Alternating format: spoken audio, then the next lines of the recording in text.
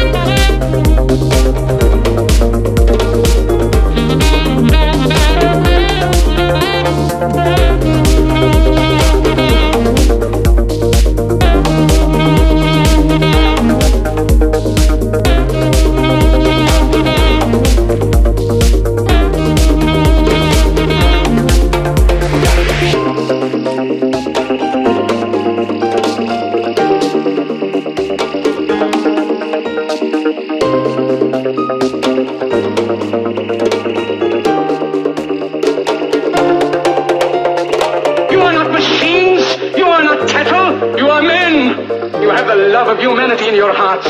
You don't hate, only the unloved hate, the unloved and the unnatural. Soldiers, don't fight for slavery, fight for liberty.